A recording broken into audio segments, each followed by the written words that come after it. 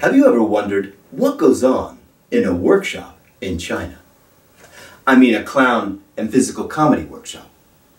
This is a video of a series of classes that I taught with my partner in clown, Dan Griffiths, as part of the Wuqiao International Circus Festival. These students were so playful and seriously skilled. Check it out.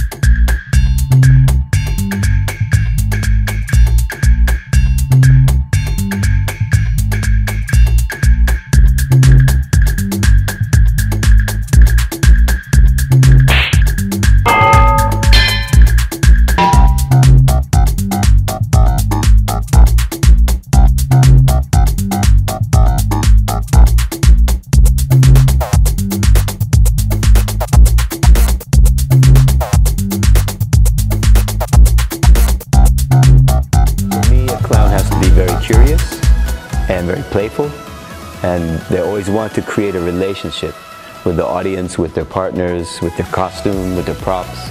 And so it's, it's very much about wanting to play outwardly with all your partners.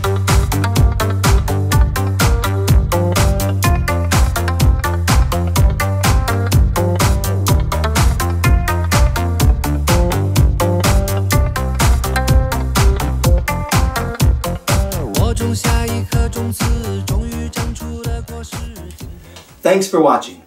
If you like the video, please click like, share it with your friends, leave a comment or ask a question and I will respond.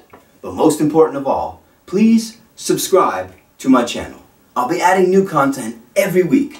Physical theater, physical comedy, slapstick, clown, interviews, workshop videos, on-tour performing videos, the secrets of, and how to. When you subscribe, click the notification bell. That way, you'll know whenever I post a new video. Let's keep in contact. Thanks a lot.